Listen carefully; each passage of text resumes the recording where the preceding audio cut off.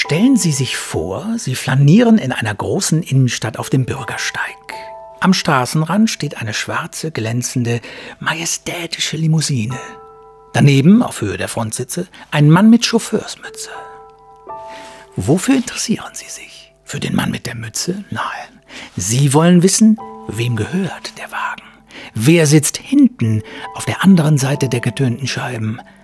Spaziert vielleicht gerade jemand aus dem angrenzenden Hotel heraus? Woher kommt der Wagen und wohin geht die Reise?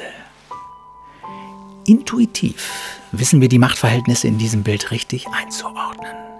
Der Chauffeur ist derjenige, der den Wagen lenkt. Ja, er sitzt am Steuer. Er schaltet die Gänge, aber er ist nicht derjenige, der die Richtung bestimmt. Den sehen wir nicht. Das Erste, was Menschen in gehobenen Positionen sich leisten, ist ein Chauffeur, sogar in der Kleinkunst. Der Chauffeur übernimmt die Lästigkeiten des Straßenverkehrs. Hinten kannst du in Ruhe arbeiten, Shampoos trinken oder dir einen blasen lassen. Alles möglich. Welch privilegierte Position hat doch der Mensch, der kaum beachtet hinten sitzt. Er gibt die Kommandos. Vor der Fahrt und auch währenddessen. Links abbiegen, nicht halten, fahr schneller. Und wer hinten sitzt, wird nie geblitzt. Die Kameras sind immer auf den Chauffeur gerichtet. Ein passendes Bild für die Politik, oder?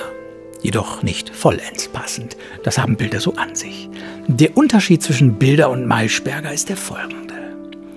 In unserer Talkshow-Kratie springen die Blitzautomaten nicht nur in Ausnahmefällen an, die Kameras laufen ständig. Und die Aufnahmen sind nicht nur einer kleinen Polizeielite zugänglich, sondern allen.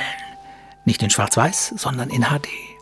Das gibt dem Chauffeur eine Popularität, die wir auf dem Bürgersteig gern mit Macht verwechseln.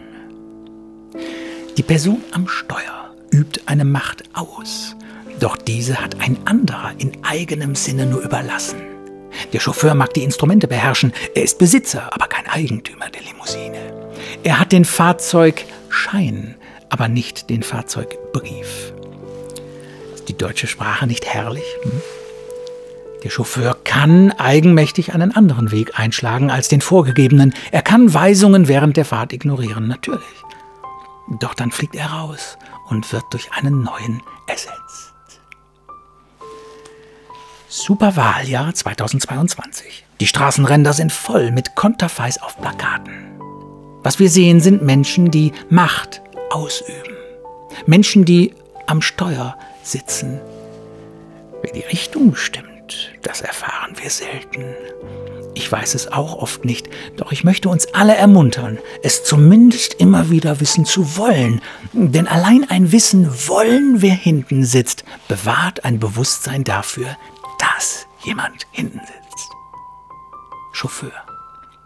Ein ehrenwerter Beruf, der Respekt verdient.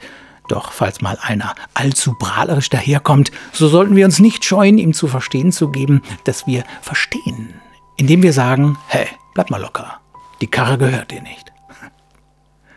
Wahlplakate sind eine Freiluftvernissage mit Bildern von Chauffeuren. Wenn Sie für solch einen etablierten Chauffeur an einem schönen Sonntag in eine triste Wahlkabine gehen wollen, um dort ein Kreuzchen zu machen, bitte tun Sie es. Ich pfeife drauf.